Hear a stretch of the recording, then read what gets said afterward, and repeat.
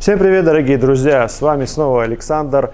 И я хочу с вами сегодня поговорить о коляске от немецкой компании, от очень мега популярной немецкой компании Cybex. Э, модельку мы с вами рассмотрим сегодня Talos S Lux. Э, сравнительный обзор у меня уже на канале есть с Balios S колясочкой. Она со мной стоит. Вот, э, там можете, в принципе, тоже посмотреть. Но сегодня мы отдельно изучим конкретно эту модель, независимо от другого варианта от компании Cybex. Вообще эта колясочка такая, знаете, а, более скажем там, чуть более внедорожная, чуть более закрытая коляска, которая подходит больше для э, более холодных регионов нашей чудесной необъятной страны. Вот. А, в общем, смотрим на нее комплектации 2 в одном. Кстати, можно купить и 3 в одном комплекте с ней, если вы сразу комплект берете, именно комплект заявленный производителем. Это будет люлечка Atom MI Size идти в комплекте. Это очень хорошая люлечка, друзья. Поэтому рекомендую. Вообще 3 в одном лучше вот реально брать с их брендом. Вообще супер люлечки. Так, начнем изучать мы сначала с люльки, посмотрим, что она из себя представляет. Потом уже, соответственно, перейдем к остальному. И перед этим в двух словах технические характеристики вам назову. Чтобы не ошибиться, я вам их зачитаю. Вес с люлькой 14,1 килограмм. Друзья, не пугайтесь, 14 килограмм. Это не самая легкая люлька, но это такой полноценный внедорожник, который не может быть просто легеньким. Он очень мягко едет, Поэтому для этого нужны большие колеса, соответственно, большая люлька, чтобы зимой хорошо в ней помещаться. Поэтому 14 килограмм нормально. А вес с прогулочным блоком здесь 13,9. Разница там буквально в 200 грамм, это ерунда. А вес люльки, которая, кстати, комплектации 3 в одном, смотрите, она тоже небольшая э, по весу, 4,2 килограмма автолюлька, тоже неплохо. Наклон сидения, это мы увидим 110-170 килограмм с рождения до 4-5 лет. Ширина, кстати, колесной базы 60 сантиметров. Вы в любой лифт везде заедете, вообще никаких с этим проблем не будет. Так, люлька 77 на 30, тоже неплохой показатель. И 22 килограмма, соответственно, выдерживает э, ребенка эта колясочка. 22 килограмма это сейчас как золотой стандарт, практически все будут так выдерживать. Так, люлька. Э, ткань классическая, Cybex ткань такая очень плотная, износостойкая, приятная на ощупь, не раздражает уж точно. Здесь вообще претензий нет, не продуваемо, гипоаллергенно, само собой. В ручке у нас в козырьке есть вот такая, точнее говоря, ручка. Э, вспененная резиной ручка классическая самой коляски, тоже вспененная резина, кстати. Вот, в козырьке есть у нас дополнительный маленький козыречек, который убирается или вытаскивается, если это нужно. Регулируется по наклону козырек у нас с помощью кнопок. Ну, на самом деле, пора бы уже производителям делать бескнопочные системы. Ну, наверное, так эффективнее, покрепче с кнопками, ну это ж так неудобно тянуться, нажимать, ну не знаю. Ну все равно с этим можно жить, конечно. Так, накидка на ножке. Здесь у нас идет вот такая большая. И что мне нравится, она крепится на четырех кнопках по бокам. И вот этот бортик к козырьку крепится с помощью еще двух кнопок. Получается, что никакой ветер нам это все не сорвет абсолютно никаким образом. Так, а, давайте с вами заглянем внутрь. Я вам сейчас покажу, что она из себя представляет. Вот такая вот люлечка. Размер я уже вам назвал. Мне что очень нравится. Деревянное дно и матрасик очень-очень мягенький, приятный матрасик. И у него супер крутые ткани. Вот реально, вот материалы просто бомбические.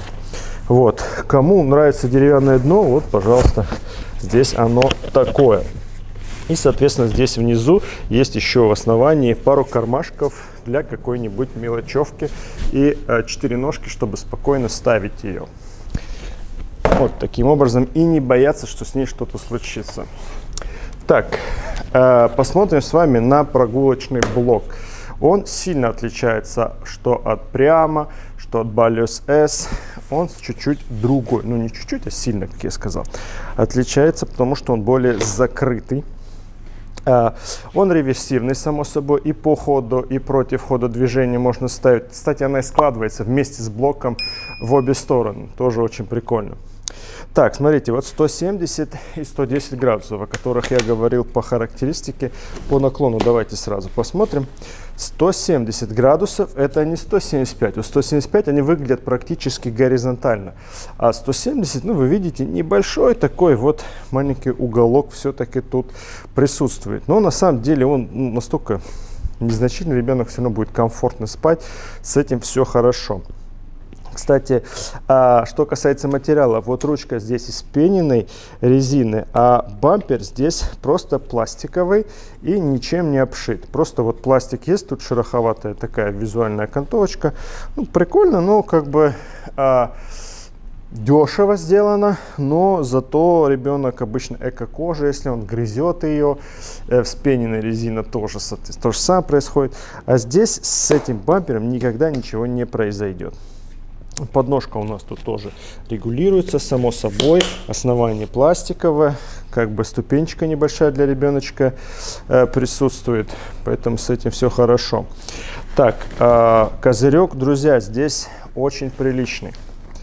Что-что, козырьку тут вообще вопросов нет, потому что козырек тут прям царский. Давайте я вам сбоку покажу. Вот. И отличие от Балес S, как в сравнительном обзоре мы показывали, она там более открытая. Здесь же вы видите, козырек просто очень большой. Он очень эффективный, как по мне. Можно еще даже вот такую процедуру провернуть. И сделать вот так. Смотрите, я сейчас так опущу. Все. И мы видим очень вместительное пространство для ребеночка. Вот эта вот часть, это э, сверху москиточка, снизу полиэтилен, чтобы не промокало. Здесь, соответственно, тоже. Э, у основания мы можем вот так вот открыть, если нужно, и летом проветрить. Это все, естественно, вот так вот трубочкой заворачивается и фиксируется, если это нужно. Так, э, по прогулочному блоку, друзья, мне, в принципе, э, добавить нечего. Вот оно, он хорош тем, что он закрыт. Очень хорошо закрыт, и ребеночку там хорошо. Не поддувает по бокам, ничего. Что касается безопасности, пятиточные ремни, бампер, мягкие накладки на паховой зоне и на плечевой, соответственно, присутствуют. Здорово. Так, друзья, давайте с вами посмотрим на раму, на шасси. А, тут как бы сложно что-то найти, какие-то предъявы, потому что Cybex сделал всегда хорошо, рамы металлические, сборка отличная, мне вообще претензий никаких нет. Колеса здесь у нас резиновые, они, соответственно, они, в смысле, не надувные, а, но резиновые. Это такой, э, знаете, э, золотая середина, когда вы ее не проколите, соответственно, эту резину. И это не такой жесткий полиуретан, который тарахтит. Нормально, классно едет. И еще благодаря хорошей мягкой амортизации и спереди и сзади видны пружины. Это вооружен, невооруженным взглядом видно. Передние колеса можно блокировать для преодоления какой-нибудь там лютой, э, лютого бездорожья.